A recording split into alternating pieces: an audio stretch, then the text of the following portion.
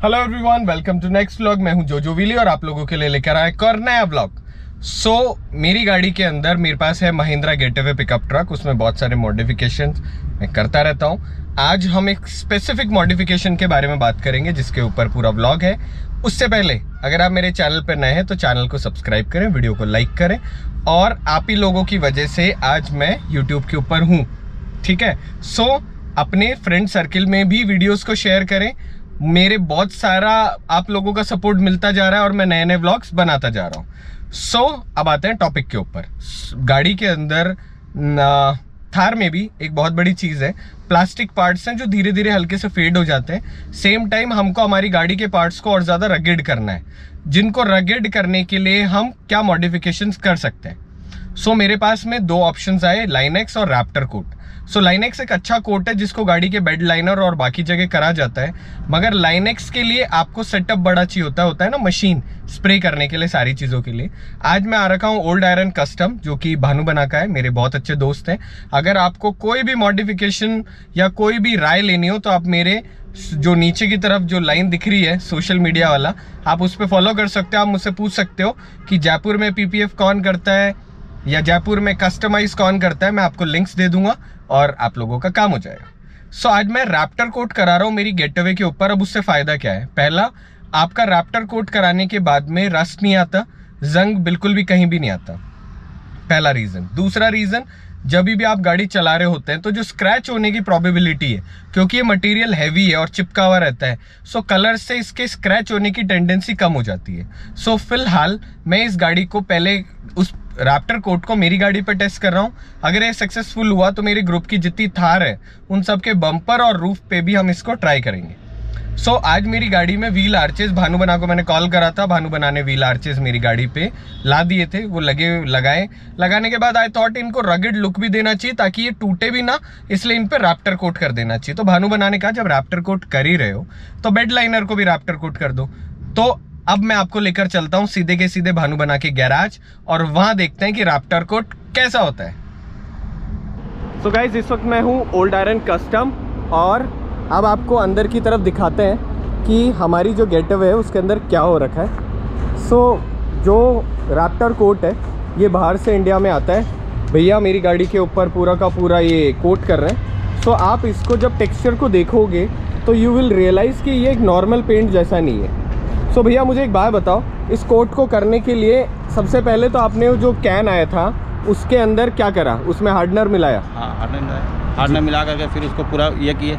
अच्छा उसे हाँ जी जी जी मैं समझ गया। मैं कस्टमर्स को बता देता हूँ। सो बेसिकली होता क्या है आपके रैप्टर कोट के कैंस आते हैं जिसके अंदर आपको एक अमाउंट में हार्डनर मिलाना होता है। उसको अच्छी तरह शेक करना होता है राइट हाँ। अच्छी तरह उसको हिलाना होता है जिसके बाद में इस पर स्प्रे किया जाता है। और गाइस लिटरली मैं बता रहा हूँ, मेरे को जो इसका टेक्सचर है ना, ये इतना ज़्यादा खूबसूरत लगा ना कि मैं फ़ैन हो गया इसका। अगर मुझे, अगर ये ऐसा अच्छी तरह चलता रहा ना तो मेरी कोशिश ये है कि मैं गाड़ी के बाकी पार्ट्स पे भी एक एक कोट कर दूँगा। सो उससे और ज़्यादा वो रगेड वाली जो फील है ना, वो हो जाएगी। मैंने यही नहीं करा, इसके साथ ही मैंने गाड़ी के जो साइड में थे, यहाँ पर भी कर दिया। अब मैं आपको दिखाता हूँ कि जो रैप्टर कोट होता है, इसका वो जो बॉटल है, वो दिखती कैसी है। गैस अब अगला काम क्या कर रहा हूँ मैं? मेरी गाड़ी के ऊपर लोहे का ये वाला जो पाइप है, ये साइड प्रोटेक्शन में भी लग जाएगा, जैसे पीछे की तरफ़ लगता है। तो पीछे वाला जो मेरा है, वो ये रहा बम्पर आप देखो, इसमें ये वाला जो पार्ट है, इसी तरीके से इसमें आगे भी यहाँ लगेगा। और साथ के अंदर अब मैं आपको दिखाता हूँ कि वो जो बॉटल है, ये देखो गाइस ये वाला जो है, ये कुछ ऐसा दूसरी तरफ़ के लिए भी बनेगा तो ये दोनों तरफ़ प्रोटेक्शन हो जाएँगे। साथ ही के अंदर जो भैया है भैया, ये हमारे फैब्रिकेटर भैया है, भानु भैया के यहाँ। और ये ही है जो मेरी गाड़ी में सारे लोहे का काम करवा रहे होते हैं। अब मैं आपको दिखाता हूँ रैप्टर कोट का बॉक्स कैसा है। सो कुछ ऐसा दिखता है रैप्टर कोट का बॉक्स और इस बॉक्स के अंदर की तरफ़ ऐसी कुछ आती बॉटल्स इन बॉटल को आप डायरेक्टली कनेक्ट करते हो गन के साथ में और फिर आप स्प्रे कर रहे होते हो। तो इसमें दो ऑप्शन आते हैं। एक तो टेंटेबल जिसमें आपको जो भी कलर लेना चाहो, वो ले सकते हो। मैंने जो इसमें लिया है वो है raptor coat black so black colour इसमें पहले ही आता है। अगर आपको गाइस कोई दूसरा कलर चाहिए तो आप दूसरा कलर भी ले सकते हो।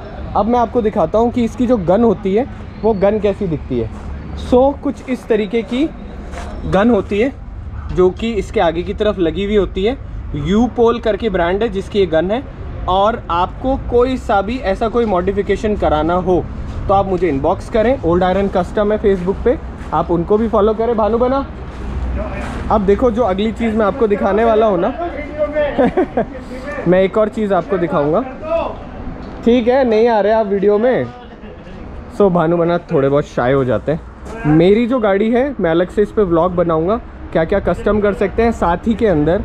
एक्स यू सवर डबल ओ के अंदर भी। अभी जो सनशेड्स है, इसके ऊपर भी मैं कोशिश कर रहा हूँ कि एक ब्लॉग बनाऊँ। कि बेस्ट सनशेड क्या बनाया जा सकता है लगाना चाहिए कंपनी वाले के अलावा क्या क्या ऑप्शन है उसके ऊपर। सो so, जैसे मेरी गाड़ी पूरी होगी फिर मैं आपको दिखाऊँगा कि पूरी प्रिपेयर होने के बाद में मेरी गेटवे कैसी दिखती है। सो so इस गाड़ी के ऊपर लाइनेक्स हो चुका है। अभी भी बहुत सारा काम बाकी है। लेटेस्टली जो मैंने करवाया है एक तो भानु बना के से ये पाइप लगवाया है। फ्रंट के अंदर जो व्हील आर्च है इसको प्रोटेक्ट करने के लिए। और मेरा ये था कि ये ज़्यादा बाहर ना निकले। ये गाड़ी की पूरी की पूरी रेंज के अंदर हो। सो कुछ ऐसा दिख रहा है पाइप आगे से। और पूरी गाड़ी के अंदर मैंने जो कोट था, वो लग चुका है रैप्टर कोट और बहुत ही अमेजिंग एक्सपीरियंस है इस रैप्टर कोट का। बहुत सारे लोगों ने तो मुझसे फ़ोटो देखकर ये पूछा कि ये बेड लाइनर कितने में लगवाया। सो ये बेड लाइनर नहीं है, ये सिर्फ़ रैप्टर कोट है। रैप्टर कोट देख लो, इतना स्ट्रॉन्ग है कि ये पेंट जो है, इसमें अपने आप ही फ़र्क आ गया पूरे के पूरे के ऊपर। और अब क्या है कि गाड़ी थोड़ी और प्रोटेक्टिव हो गई। मेरा क्या प्लान था कि अभी लेटेस्टली मैं इस गाड़ी को लेकर और हम एक नाइट ऑफ़ रोडिंग पे जाएँगे। नाइट ओटीआर के ऊपर तो आई थॉट कि उसके लिए मैं इसको पूरी गाड़ी को रेडी करवा लेता हूँ। साथ ही के अंदर इसके अंदर मैंने भानु बना को कहा था कि मेरी पुरानी बम्पर लाइट्स फेड हो गई तो ये भी नहीं डाल दो। सो so, देखो गाइस पुरानी वाली जो बम्पर लाइट्स थी वो तो यहीं कहीं पड़ी होगी। उसको लग हटाकर ये नहीं लग गए सो व्हील आर्चेस लग चुके हैं। पीछे की तरफ़ पूरा प्रोटेक्शन लग गया और अब गाड़ी के अंदर जो बाकी काम है, वो भी होंगे। अगर आपको ये ब्लॉग अच्छा लगे तो आपको क्या करना है, आपको चैनल को सब्सक्राइब करना है वीडियो को लाइक करना है। और अब मैं थोड़ा सा डेडिकेटेड हो गया आप लोगों के लिए यूट्यूब पर। सो चैनल में नीचे जो वीडियो चल रहा है, उसमें नीचे कमेंट बॉक्स के अंदर आप मुझे बताएँ। अगला व्लॉग किस चीज़ के ऊपर होना चाहिए? आई ट्राई कि मैं उस पर व्लॉग बनाऊँ। अपने फैमिली फ्रेंड्स को कहना है चैनल को सब्सक्राइब करने के लिए और मिलते हैं अगले ब्लॉग के साथ में जल्दी।